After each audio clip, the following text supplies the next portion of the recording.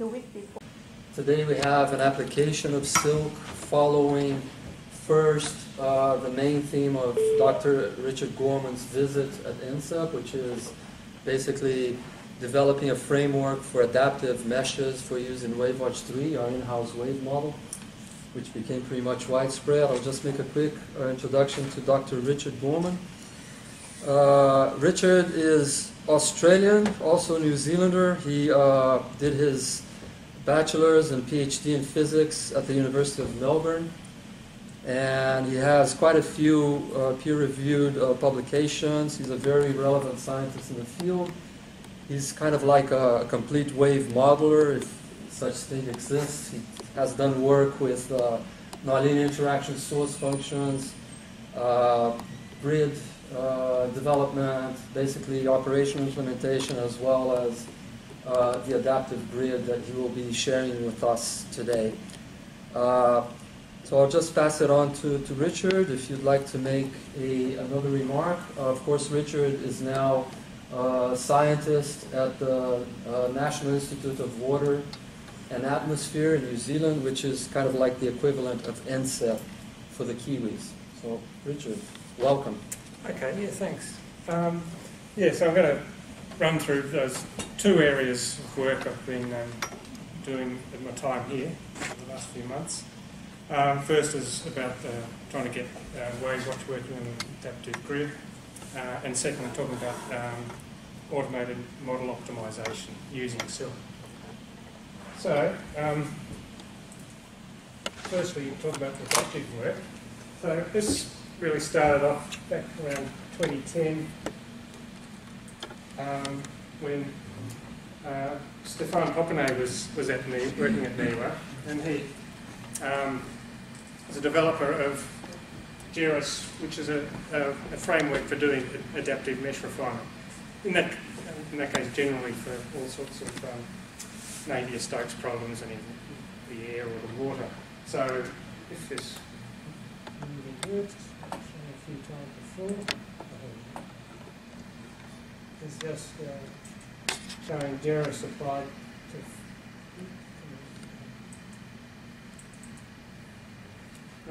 Oh, okay.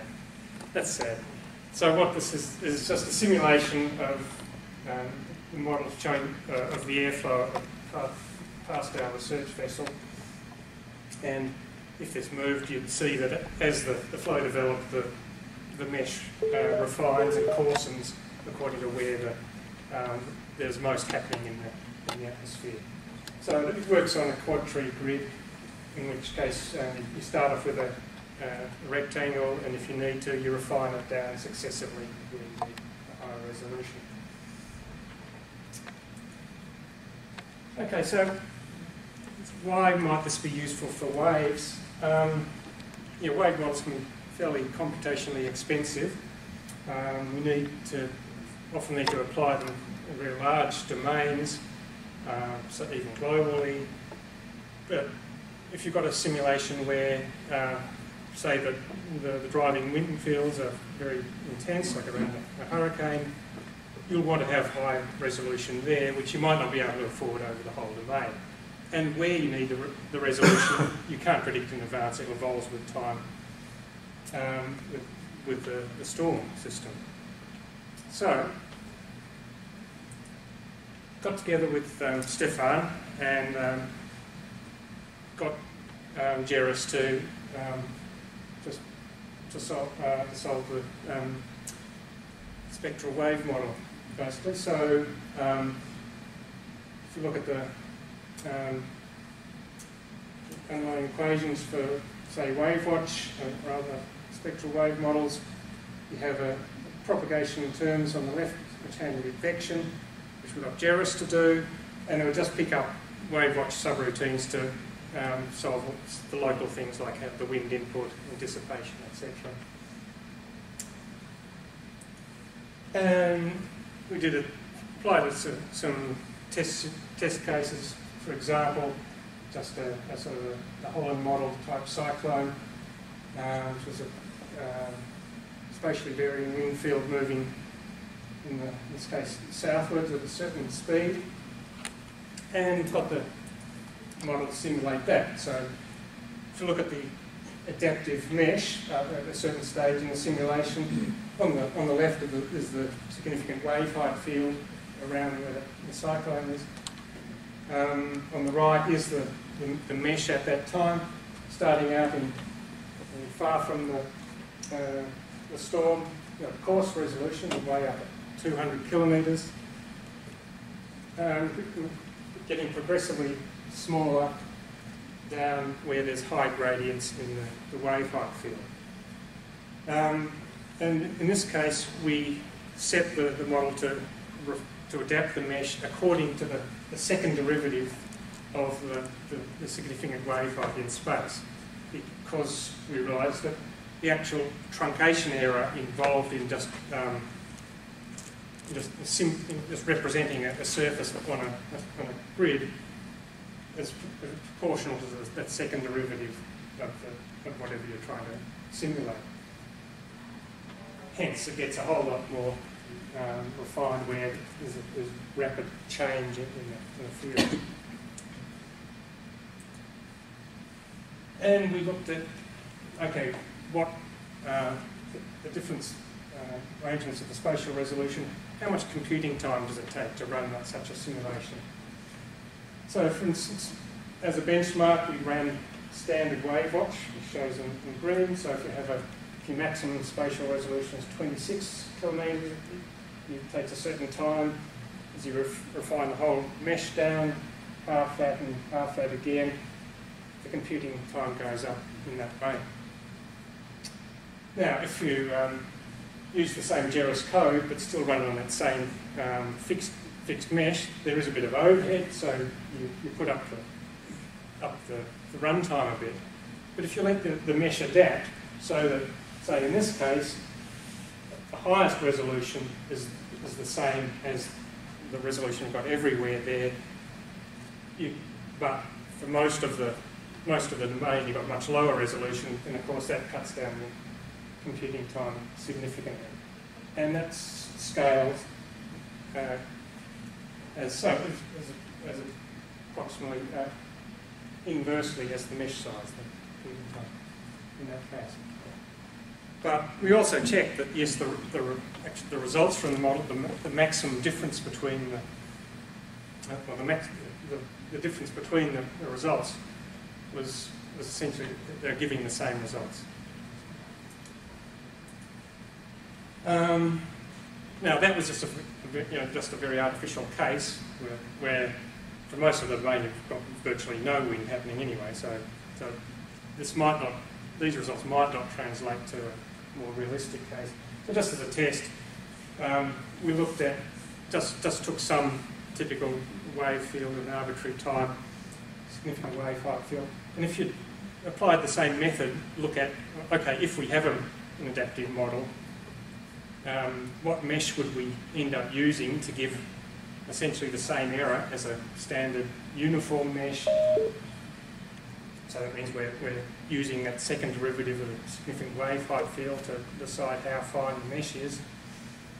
And what we look at just down the bottom is the, the truncation error um, associated with having a, a uniform resolution. And the truncation error, where it's high, is only very very limited. So in fact, you'd only need to have really high resolution at these limited areas where there's a rapid um, change in the, the big gradients or second curvature in the, the wind field or near islands or something like that where which produces corresponding big gradients or curvature in the wave height field. So in fact you could um, do a lot of refinement um, or coarsening of the mesh and get away with not introducing much extra error. And so this, this is just looking at how that scales. So this is all sort of preliminary work with um, that, both with the, the, the Gerris version of it and just looking at what, well, what might be the advantages of it.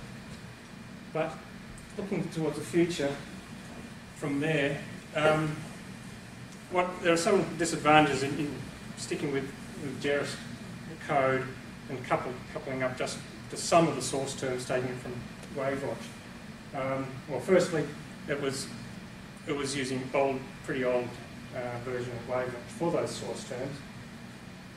It wasn't set up to handle realistic uh, I/O, and there are some things which do depend on the, the spatial, uh, on the grid structure, which aren't purely local, such as how, how uh, you know, ice subgrid obstruction, which we couldn't represent at all. And so, in as a sort of pragmatic thing, such a model wouldn't really stay anywhere the cutting edge of the, the rest of the wave physics. It's sort of a nice, it's a nice little toy which has this adaptivity, but otherwise it's not going to be cutting edge wave model. So, um, decided, well, I decided to try building adaptivity, into wave, WaveWatch. And so that's basically what I started before I got here. I've trying, been trying to spend this time putting a bit more effort into that development. So I just want to give you a little bit of update where that's at. And I'll talk about how this actually is going to work in, in, the, in WaveWatch. So the, we're going to be now be working on a, a quad tree structure for the grid. So um, explain that. You start with a, um, say this big blue box as one, as one cell, grid cell, and in some places you refine it down, um, down to these uh, magenta ones, there's four cells there. Some places you refine further, and these red ones at another level of refinement, and finally down to some of these black cells. So there's different levels of refinement you could have depending on um, what the solution is locally. Um, so in this version, each, each of these leaf cells, which are at the sort of bottom of this tree, will, will correspond to this, the C point index in WaveWatch. Um, so one of, one of the important things we need to cater for um, is, is the inputs because fundamentally the, where uh, where you might need to refine or, or coarsen um, the wave model is going to be highly dependent on the various inputs.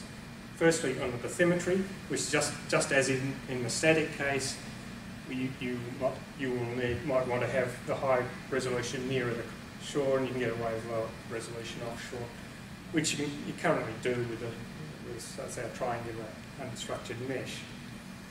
Um, but that, of course, is static, doesn't any time. But we, okay, so we still need to handle those inputs, both both for bathymetry and also for potentially for other mo models, because this is probably only going to come into its own when you actually got a weather model driving, which is also adaptive, also handles different uh, levels of um, spatial resolution. Okay, so one of the things um, try to do is get um, is handle all the inputs on similar quad tree structures. Um, so, for instance, you might might have even looking at it, doing it statically, just without the um, adapting in time. You might you might be settled having uh, coarse resolution in some areas and fine resolution in others. So you might have your bathymetry defined on a coarse grid in some places and refined further so that have your bathymetry defined on a quad tree. Now, um, with the static inputs, you're going to um,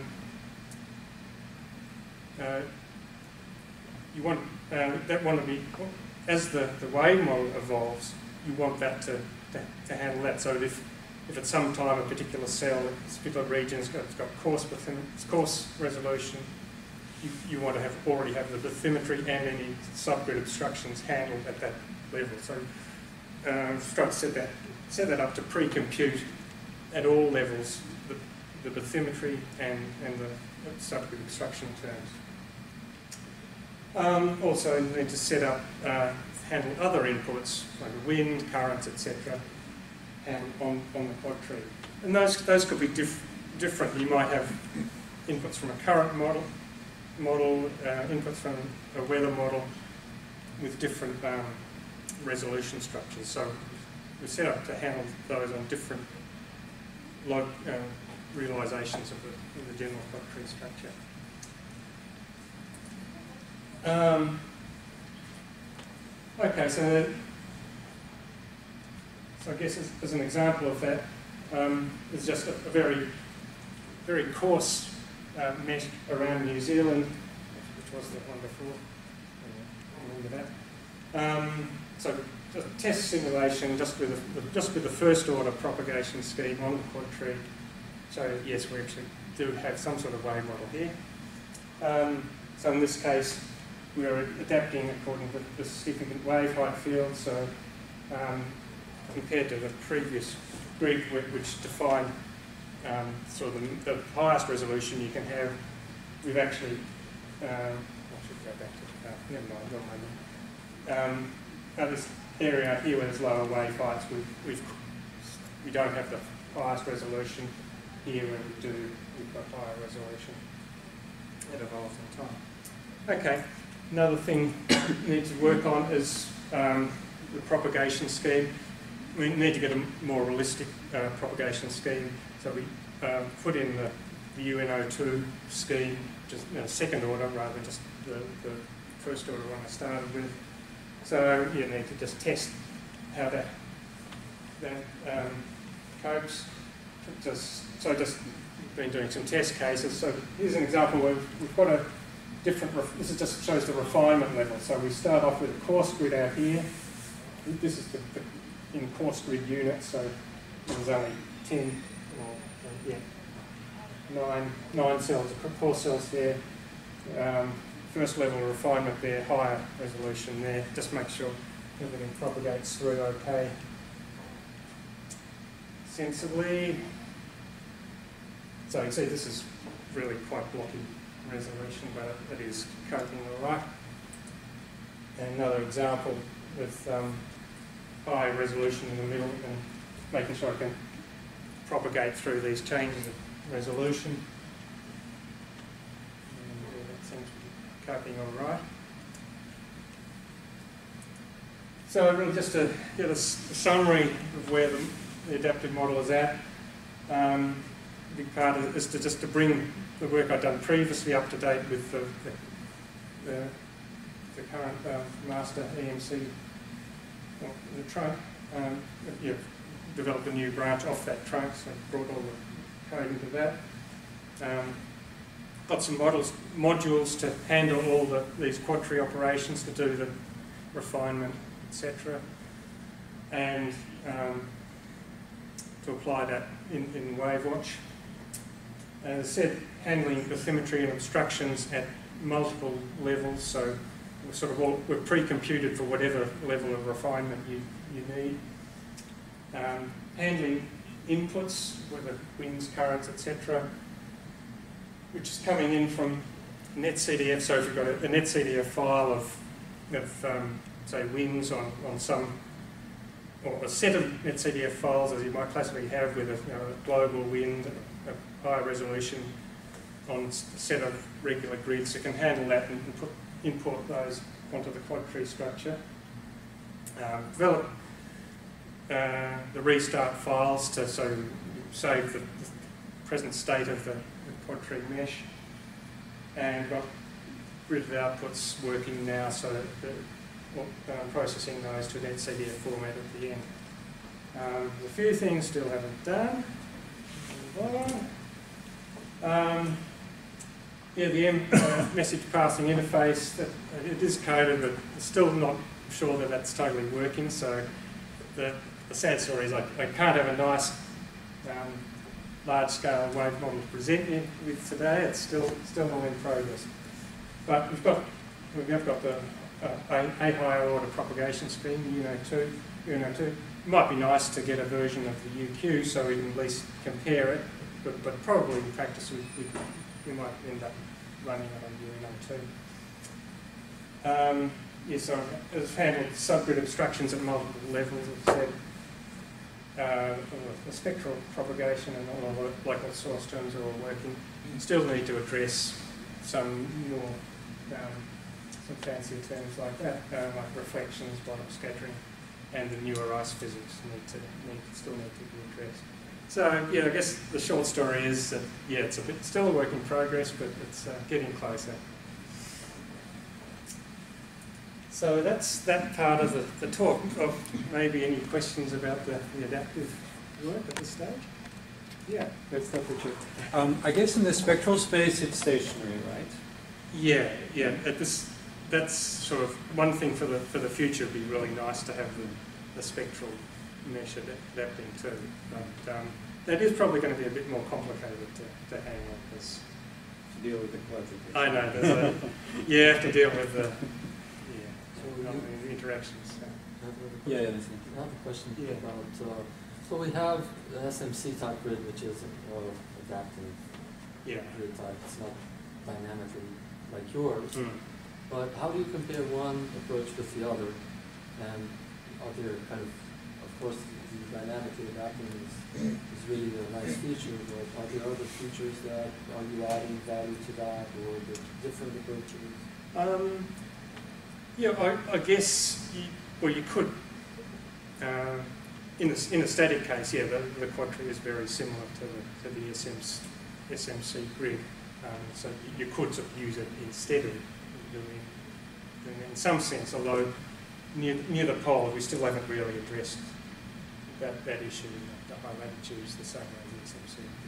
I, I can imagine if we could, could do that, but not not quite done that. And then again, SMC has a few uh, uh, approaches in terms of filtering, refraction, and depth. Do you have those kinds of limitations in your approach as well? Um, I haven't built those in. You could still, you could choose to use those on, on top of the. You you mean in terms of the, the way it handles the refraction?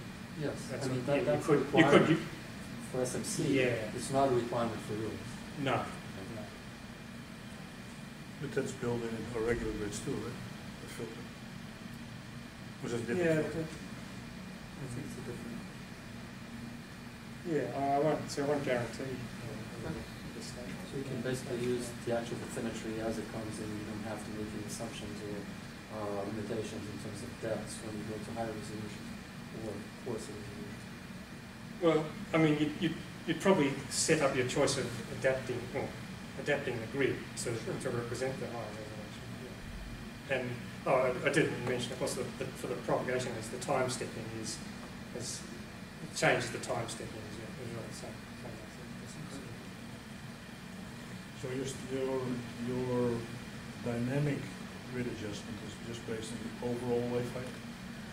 Um, well, you can you can choose you can choose various uh, methods, but you, yeah, at this stage that's an option to base it on the the, the wave height field or the second derivative of it or whatever, or of the or of the wing.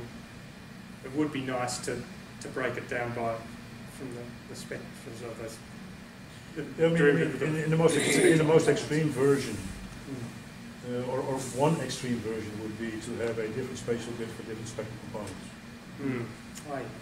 But that, that becomes a nightmare with doing the physics and all the other stuff. yeah. But an intermediate step that you could do is to define your local grid refinement the same for every spectral component, but look at different parts of the spectrum in terms of way we refine it. Yeah. So for instance, you could get uh, around Tuamotu, you could get, uh, in cases of, uh, of a swell field going through, having a sharp shadow between, behind the swell field, Mm. Create that area where you want to do the sharp shadow uh, with higher resolution for all the spectral components, but still based on that specific field. Mm. So, so you could probably go a lot further with how you do adaptive without changing what you're doing inside of the code, Yeah. just by determining how you do the local refinement. Yeah, yeah, that, um, that's what I'd like to, to, to do, to, to, to, to look at the spatial variation of each component and form whatever composite of that. Yeah, because the, the other extreme would be to do the, to do the same thing in spectral space. Yeah, But that becomes a nightmare with nonlinear interactions, and that becomes a, and then the bookkeeping becomes a real nightmare between all the different uh, dire- dimensions. yeah. Yeah, I bet the low frequencies will dominate that stuff. yeah Because because, they, they feel that, that the, the seabed, the well, well, the, the, the sea bed is a local problem. But if you have an individual swell field going through an island chain, you have very specific areas where you have shadows. And that would be a dynamic piece. You would literally see the, you, you would, you would literally see the swell field going like this, but the, the, the, the, the shadow going like this, you would see this little blob of, of high Yeah, yeah. resolution going forward, just to make sure that that, that that shadow stays really sharp in that one spectral field, wave field. Yeah, yeah. Yeah, the shadow is one thing, the other thing is refraction on the, the upwind part, because we have, we had endless problems with that, with uh, unstructured meshes that are not resolved well enough, like around these islands like Puerto Rico and Hawaii, and then these very long waves, they try to refract in, but they, if this, if you don't refine the island well enough, you just, you, you you kill it on the refraction, like refract ninety degrees, it becomes unstable, it. So, so that's why I'm thinking probably if you do this, then this seabed will, the long frequency, long waves will have the, the seabed will really dominate that criterion. Yeah, but you could even, s- this, this gets a little bit into detail, but you could be, you could get even way more, uh, uh, advanced with that. Because you have a high bathymetry, high, high, high uh, reflection bathymetry is important, but not if there's no waves coming there. Or you can actually pre-compute that, you know, according to your wave climate. You No, can the- determine if you're going to have an effect or not, depending on the, the grade, but bathymetry gradients.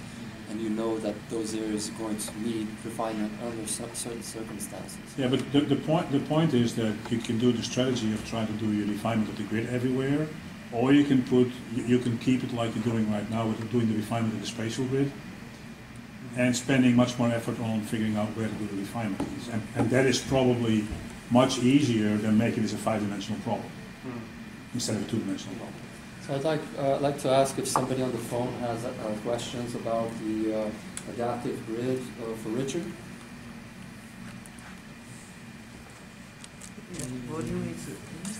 No phone questions? Hi, uh, Enrique Brown, WC. Okay. So, uh, coming from operations, the question is, when can I see something? Yeah, I sort of, if you'd asked me three months ago, I would have said by now, but, so, yeah, unfortunately, as a sort of, the progress might even slow down a bit. A little while, so, Yeah, then Yeah. there- there's the development component of the Yeah. base code itself, and then there is the uh, putting it into operations part, which is probably a little bit complicated. But it, it has a lot And of then my other question, I'm sorry, go ahead. Yeah, go on, Frank. Uh, the other question is, is this something that, um, would be adaptable enough that we could apply it to other modeling systems, specifically on, on wind and wave? So, you know, just seeing that, that one graphic you had of, of everywhere that you would probably, inc- you know, increase the, uh, increase the number of points, and it's everywhere that I care about, all those storm systems. Um,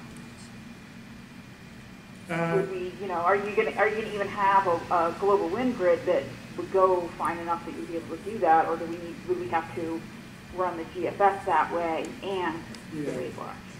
Um, yeah, well, well, Gerris itself, where I started off, is is used for adaptive mesh refinement. It's not, uh, but not presently on such a, a large large scale. So um, I'm not going to about about to develop a new wind atmospheric model with this with this this tool. So I mean, I, I'm not really in a position to to make any promises there. But So since you're not making any promises, yeah. um, the underlying Gerris approach, how does that scale on exascale computing? Yeah, how, or, or- how does it, how far have you been able to go with that in terms of the amount of processes that you would use? Um, yeah, at the moment I believe it's not very, not so good, but we have been doing some work on, on running, uh, well, uh, Basilisk, which was sort of evolved from Gerris on, on GP GPUs. So that, that might, if that, that would. So, so Fran, going back to your question, um, this is something that could and should have showed up uh, as we did our dycore cook-off for uh, uh, NGGPS. And uh, so one of the issues with, with this kind of code is that uh, I, I, I may not just be up to speed on all the, all the publications yet, but it's not clear to me whether this is as efficient as some other things when you go to a hundred thousand or a million processors.